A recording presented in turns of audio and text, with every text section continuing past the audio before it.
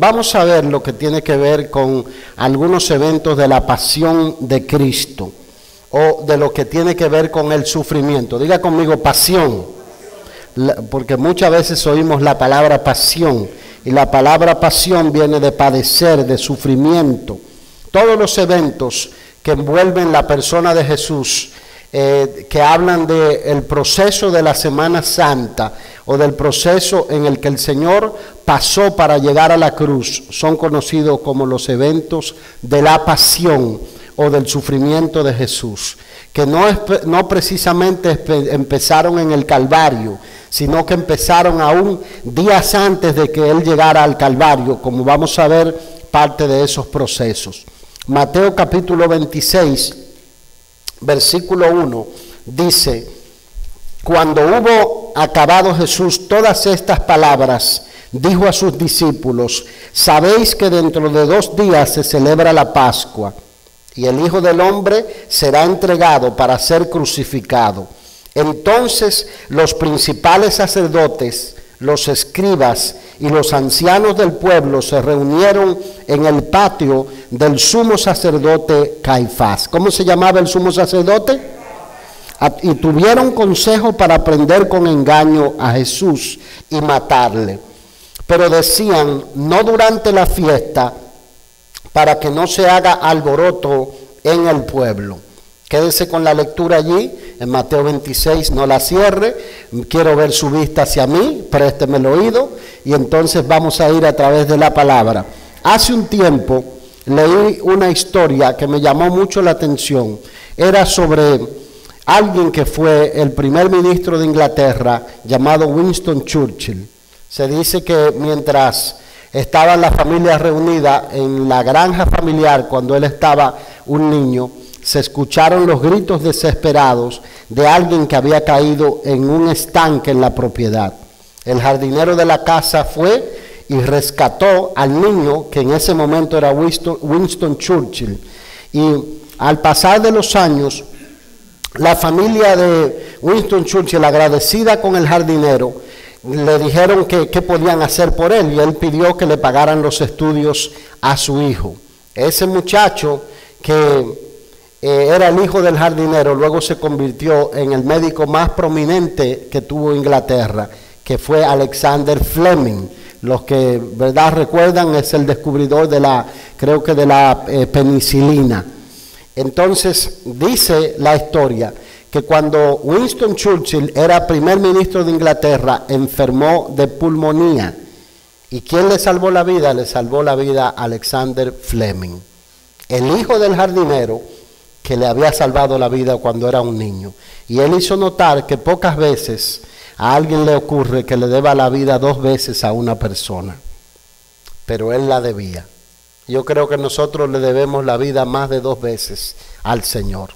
Le debemos la vida porque Él nos dio el regalo de vivir. Le debemos la vida porque no solamente nos dio el regalo de vivir, sino que nos dio el regalo de la vida eterna al entregarse y morir por nosotros en la cruz del Calvario. Nosotros vemos al Señor aquí preparando el corazón de los discípulos porque dice que Él sabiendo lo que le iba a acontecer empezó a hablarle y decirle, ustedes saben que dentro de dos días se celebra la Pascua y le empieza a decir, el Hijo del Hombre va a ser humillado, el Hijo del Hombre va a ser traicionado, el Hijo del Hombre va a ser llevado a la cruz, el Hijo del Hombre va a ser de alguna manera eh, sentenciado a muerte, algo que los discípulos no podían comprender. Recuerden que varios de los discípulos de Jesús eran parte de lo que llamamos un movimiento guerrillero. No he dicho nada de lo que conocen de guerrilla pero eran parte de los celotes, eran un movimiento guerrillero o un movimiento revolucionario que se querían hacer libres del poder romano que los estaba gobernando. Otros estaban con Jesús porque de alguna manera lo veían a él como la puerta de salida para ellos librarse de la esclavitud política que tenían en ese momento, la opresión militar y salir también de la pobreza en la que se encontraba Israel al estar sometida por los romanos. Los discípulos del Señor muchos de ellos siguen a Jesús con la idea de establecer una especie de reino sobre la tierra y no podían entender la declaración del Señor de que eh, eh, yo en dos días voy a ser entregado a los príncipes de los sacerdotes, a los fariseos, a los escribas, para ser muerto. Y nosotros vemos que había todo un complot hecho para entregar a Jesús a la muerte. Lo vemos al Señor que, oiga esto, el propósito de Dios era que Él terminara la tarea por la cual Dios lo había enviado. Y usted sabe lo que yo noto, lo difícil que es mirar por adelantado. Diga conmigo, mirar por adelantado. Saber en el futuro lo que te va a ocurrir. Saber que te van a ocurrir cosas malas, saber que te van a, ocurrir pruebas, tribulaciones, luchas y aún así seguir metido en el plan del Señor y decir, no voy a tirarme por esta puerta de salida o por esta puerta de escape, voy a seguir siéndole fiel al Señor a pesar de que lo que me espera más adelante no es muy agradable. Yo recuerdo leyendo en el libro de los Hechos de los Apóstoles, creo que es el capítulo 20, dice que eh, Pablo llega eh, a una de las ciudades donde él está preparándose para ir a Jerusalén y descendió de, de una de, o de Jerusalén un profeta llamado Agabo que vio, dice que Pablo tenía el cinto colgado en un lado y se ató los pies y las manos con el cinto y le dijo a los que estaban allí reunidos, así dice el Señor, el dueño de este cinto asimismo va a ser atado en Jerusalén. Y dice que los hermanos vinieron y, se, y cuando sabían que era de Pablo, le hablaron le dijeron, mira, de ninguna manera subas a Jerusalén. Este hombre cuando habla no miente, este hombre es un hombre de Dios. Y Pablo dijo, no me agobien el alma, estoy dispuesto aún a dar la vida por el Señor si fuere necesario. ¿Y sabe qué? Aquí yo veo al Señor empezando a experimentar en su alma el peso, el dolor de tener que ser abandonado por los que más amaba por lo que eh, pasar por esa hora triste, nosotros luego lo vemos en un momento dado, ¿verdad?, enfrentándose a esa situación. A, a, pesar de que él sabía que iba a padecer una separación momentánea con el Padre, porque ustedes lo ven en la cruz que grita, Padre, ¿por qué me has desamparado? Aún así, él siguiendo en esa fidelidad con el Señor. Yo creo que mientras nosotros reflexionamos durante esta semana lo que son los eventos de la pasión, tenemos que observar el comportamiento del Señor, de la gente que estaba alrededor de Él, para nosotros saber qué se nos exige o qué se espera de nosotros que tenemos más de una doble deuda con Él. Porque algunos no tienen doble deuda, tienen triple, tienen cuarta, tienen quinta deuda con el Señor. Si usted uno de esos, levánteme la mano. Gloria al Señor. Vaya conmigo a Juan capítulo 12, versículo 27. Juan 12, 27.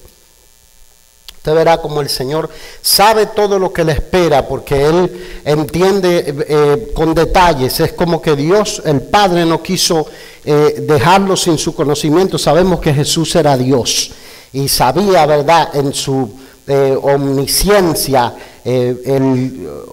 todo lo que venía para Él. Vamos a ver qué dice Juan capítulo 12. 12.27. 12.27 al 33 dice, ¿lo tenemos allí? ¿Sí? Dicen amén.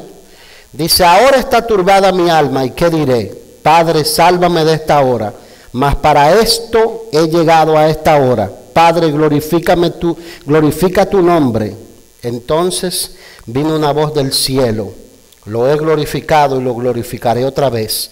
Y la multitud que estaba allí había oído la voz que decía que había sido, decían que había sido un trueno, otros decían, un ángel le ha hablado. Respondiendo Jesús,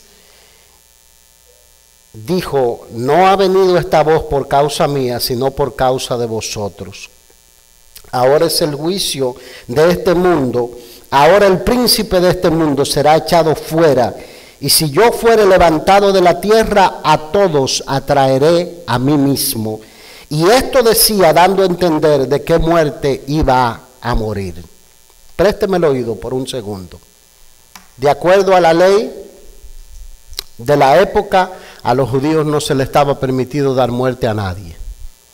Ellos tenían que someter a alguien que era reo de muerte, sea por adulterio, sea por cualquier otra cosa, someterlo primero al consejo del Sanedrín, diga conmigo Sanedrín, era el cuerpo gobernante del pueblo judío, y no se le estaba permitido darle muerte a nadie, y mucho menos los judíos tenían la costumbre de crucificar a las personas, porque era una muerte cruel, una muerte terrible, porque las, personas duraban a veces días agonizando sobre el madero. Por eso usted ve que cuando el Señor eh, lo tienen crucificado y crucifican dos ladrones junto con él, dice que para poder terminar con el espectáculo de la crucifixión, tuvieron que arrematar a los dos ladrones. Y cuando llegaron al Señor y lo vieron que él había entregado el Espíritu, entonces lo dejaron quieto. O sea que no se le estaba permitido pero el Señor está profetizando, declarando qué tipo de muerte va a tener que padecer. Y yo creo que es tremendo pensar que a pesar de saber cuál sería el final de su vida terrenal y cómo Dios lo llevaría por la dolorosa vía del sufrimiento, hasta morir en la cruz, en ningún momento desconfió de la fidelidad del Padre. En ningún momento desconfió. En ningún momento desconfió. Él sabía, Dios me preparó para esto y Dios me va a sacar de esto. Voy a cumplir lo que el Padre se ha propuesto, lo que significa caminar de la mano del Señor. Mire, sin importar lo que nosotros estemos padeciendo, nosotros tenemos que aprender del Señor a nunca desconfiar. Tenemos que confiar en la fidelidad del Señor. Dice amén, nunca desconfiar de la fidelidad de Dios. La Biblia dice que aun cuando nosotros somos infieles, él permanece siendo fiel. Él sabe en qué área nos quedamos cortos, Él sabe cuándo nosotros no vamos a pasar una prueba, ya lo vio por adelantado, pero la Biblia dice que Él nos va a dar la fortaleza para levantarnos de esas pruebas y continuar y seguir adelante siempre que nosotros sabemos y mantenemos la confianza puesta en Él. O sea, eh, yo creo que si hay una aplicación eh, importante es esta, no desconfiar de la fidelidad de Dios.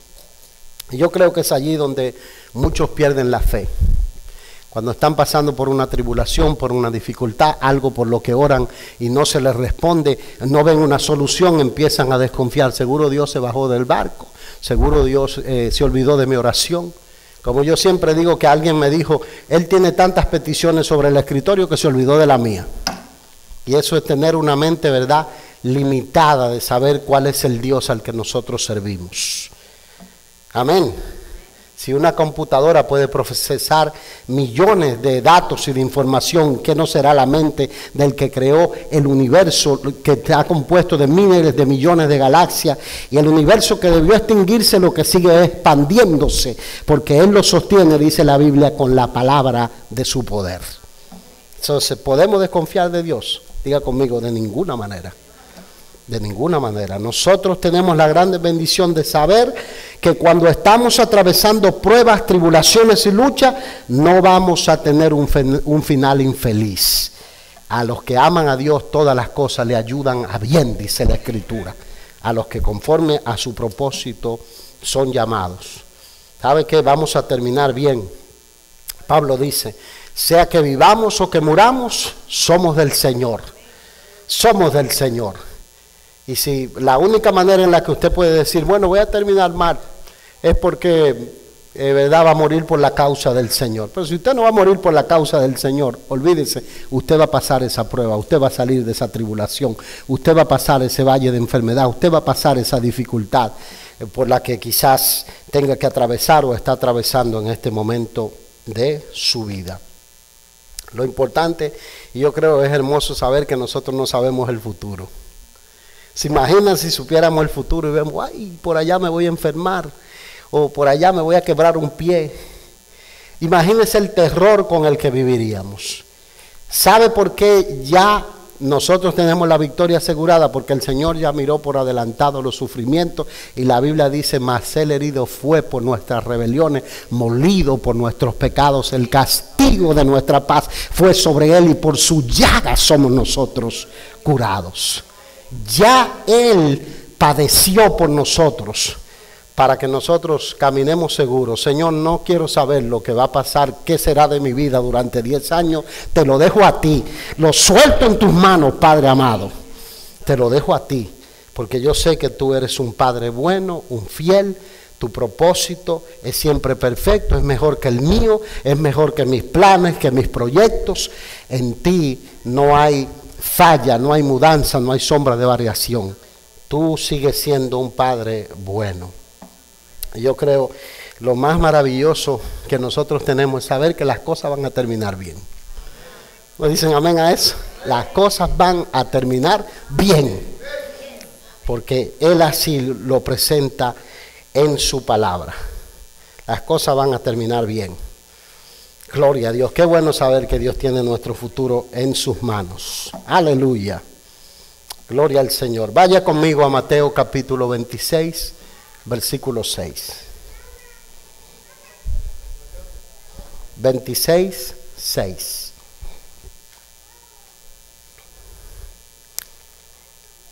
Dice, y estando Jesús en Betania, en casa de Simón el leproso, vino a él una mujer con un vaso de alabastro de perfume de gran precio y lo derramó sobre la cabeza de él, estando sentado a la mesa. Al ver esto, los discípulos se enojaron diciendo, ¿para qué este desperdicio? Porque esto podía haberse vendido a gran precio y haberse dado a los pobres. Y entendiéndolo Jesús les dijo, ¿por qué estáis, por qué molestáis a esta mujer? Pues ha hecho conmigo una buena obra, porque también tendréis, porque siempre tendréis pobres con vosotros, pero a mí no siempre me tendréis porque al derramar este perfume sobre mi cuerpo lo ha hecho a fin de prepararme para la sepultura. De cierto os digo que donde quiera que se predique este evangelio en todo el mundo, también se contará lo que está hecho para memoria de ella. Présteme el oído, porque lo que yo quiero que usted vea es los eventos de la pasión. Miremos los actores, miremos los protagonistas, miremos la vida de la gente que está en el círculo íntimo del Señor. María tenía una doble deuda con el Señor. La doble deuda de tener a su hermano Lázaro con vida después de cuatro días de estar muerto. Gloria a Dios. Saben que Dios es especialista en resurrecciones. Amén. No, no como el del video. El del video trabaja con lo que ya está vivo uno que, puede resucitar a personas que mueren después de cinco días cuando el cerebro no ha tenido daños irreversibles, pero el Señor sabe ordenar que moléculas, partículas, átomos, ADN, células que ya han sido muertas después de cuatro días vuelvan a la vida porque Él es el autor y consumador de la vida. ¿Y sabe lo que hace el Señor? María entiende que tiene una doble deuda con el Señor. Y nosotros miramos el comportamiento. María rompe el protocolo social de que una mujer no debe entrar en la época en una reunión donde había hombres y mucho menos soltarse el pelo porque era vergonzoso. Y entonces agarra y prepara una de las ofrendas más costosas que nosotros hemos visto que se le entregó al Señor en los evangelios, por lo menos lo que se muestra. Ni el burrito costaba 300 denarios ni el aposento alto costaba 300 denarios, porque eso equivalía al salario de un obrero en la época. Y María lo que hace es que le entrega al Señor eh, lo que a ella más le costaba. Y a pesar de las críticas, de que no entendían, el alma de ella estaba ligada a la del Señor. Y sabe, no se espera menos de nosotros, no se espera menos de nosotros. Sabe que note algo aquí de esta historia. Esta historia ocurre una semana antes de los versículos que leímos anteriormente. Porque dice una semana antes de la Pascua, o sea que ocurre cinco días antes. Porque en el versículo anterior dice que faltaban dos días, dijo el Señor, para la Pascua. Y aquí dice que, sí, dice que seis días antes de la Pascua, o sea, una semana antes de la Pascua. Lo cual, usted sabe por qué los evangelios ponen esto junto. Para mostrarnos lo siguiente. Diga conmigo lo siguiente. ¿Sabe cuál es lo siguiente? Que en medio de la sala está Judas. Y empieza, dicen los evangelios, que Judas es el que mete la discordia y el chisme y la rencilla y la murmuración y la crítica y empieza a decir, ¿para qué? Porque esto se pudo haber dado a los pobres. Y dice que él lo decía porque él era ladrón y tenía, era el tesorero y, y metía la mano en la bolsa y entonces, como no, imagínense lo que es un salario de un día, un salario de un día. Yo no le voy a preguntar cuánto usted gana en un día.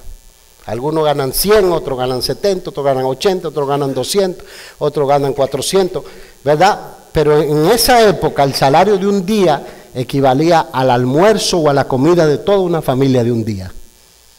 Y, eso, y ese eh, perfume de nardo puro de mucho precio costaba el equivalente de un año de un obrero, de trabajo de un obrero en la época. Entonces, dice el texto que cuando Judas vio esto, vaya al versículo 14 conmigo, de Mateo, Mateo 26, 14.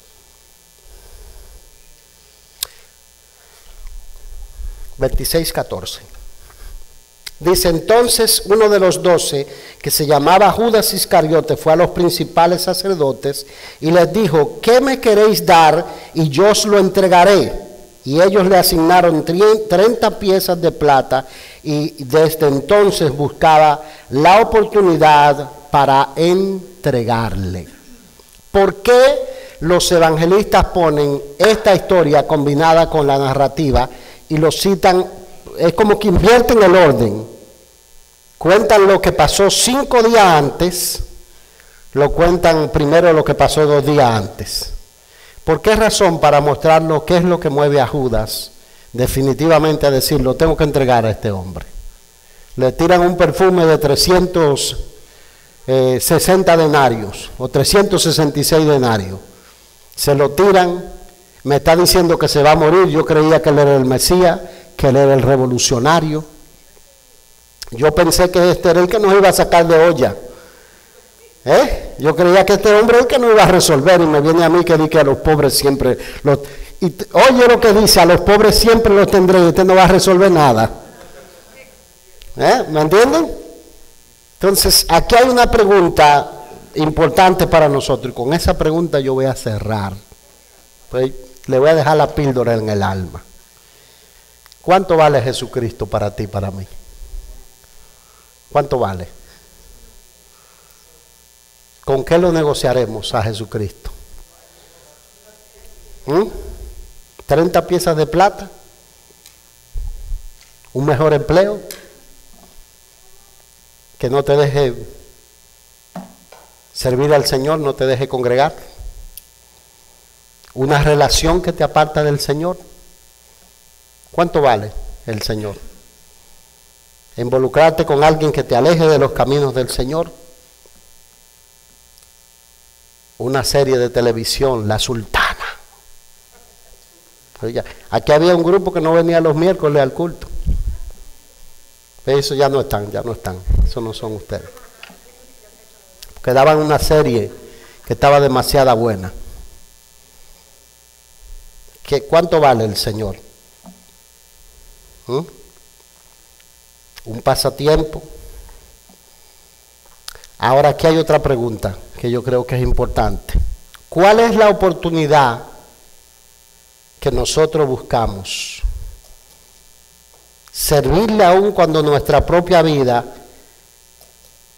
y nuestro orgullo y nuestra reputación está en juego o entregarlo por algo con lo que no vamos a hacer nada. Lo más descabellado que yo escuché fue a alguien decir que Judas era eh, alguien que habíamos malinterpretado, porque el Señor era que lo había elegido para que él entregara al Señor. ¿Quién te ha dicho a ti que Dios elige a nadie para perderse o para hacer cosas malas? Dios elige para salvar. Y nosotros tenemos la elección entre decir si queremos a Jesús, si lo vamos a seguir, si lo vamos a servir, si Él va a desarrollar el máximo potencial que Él tiene decretado sobre nuestra cabeza o si nosotros vamos a dar vuelta a la espalda y le vamos a prestar atención a otras cosas. Eso nos toca a nosotros elegirlo. ¿Verdad? Porque Él ya tiene una elección hecha sobre nosotros en Cristo Jesús. Mientras nosotros permanecemos en Cristo, no hay diablo, no hay infierno, no hay agenda satánica, no hay maldición, no hay lo que le dicen eh, destino fatal que nos vaya a tocar, porque en Dios todas las cosas nos van a ayudar a bien. Dice amén. Recibe la palabra. Gloria al Señor.